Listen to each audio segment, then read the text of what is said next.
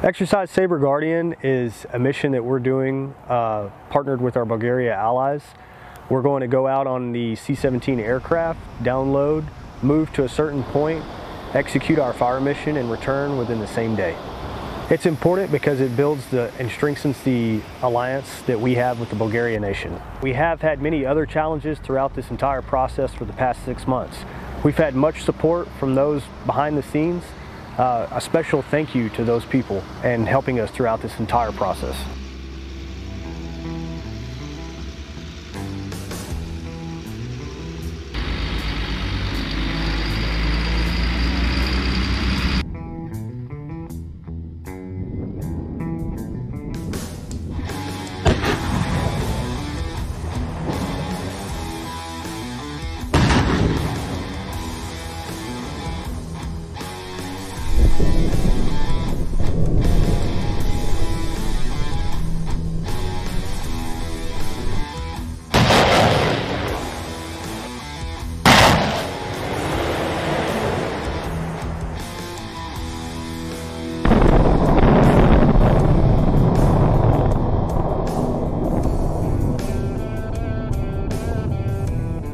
The operational tempo of a mission set like this, having to go out, certify both crews on MLRS and HIMARS operations, quickly recover and then deploy again to three different uh, locations within a, a few weeks is presented as challenges.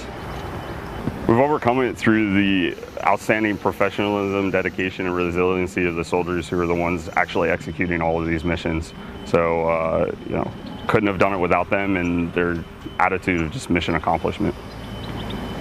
The exercise is going to help us to demonstrate our capability to rapidly deploy and then integrate with our multinational partners uh, across Europe. Yeah, this is a great opportunity for our soldiers to execute a unique mission with non-standard equipment that'll have impacts globally.